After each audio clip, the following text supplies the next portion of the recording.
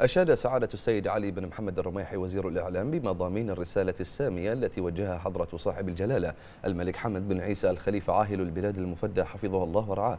بمناسبة اليوم العالمي لحرية الصحافة والذي يصادف اليوم الثالث من شهر مايو.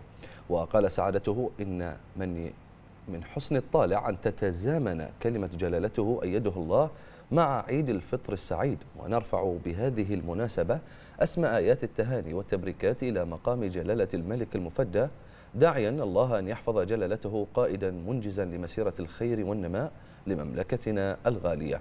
وأضاف سعادته أن هذه الرسالة الملكية السامية التي يحرص جلالة الملك المفدى على توجيهها في هذه المناسبة العالمية إيمانا من جلالته بحرية التعبير عن الرأي. ودعم اطرها وصونها تقديرا من جلالته لكل من حمل أمانة الكلمة. ونوه وزير الإعلام بما تضمنته رسالة جلالة الملك المفدى من اعتزاز وتقدير وفخر بأداء الصحافة والإعلام الوطني وحث على مواصلة تحمل أمانة رسالة الكلمة الحرة المسؤولة. معربا سعادته عن بالغ الامتنان جلالة الملك المفدى حفظه الله ورعاه على ما تلقاه الصحافة ومنتسبو الجسم الصحفي والإعلامي من رعاية واهتمام.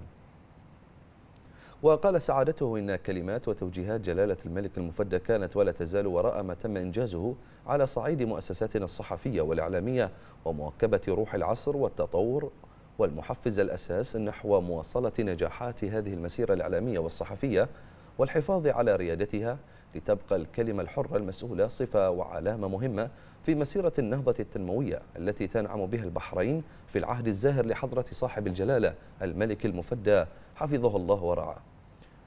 وهنأ وزير الإعلام في ختام تصريحه الأسرة الصحفية والإعلامية في مملكة البحرين بيوم الصحافة العالمي متمنيا تحقيق المزيد من المنجزات لمؤسساتنا الصحفية والإعلامية بما يواكب التطلعات المنشودة.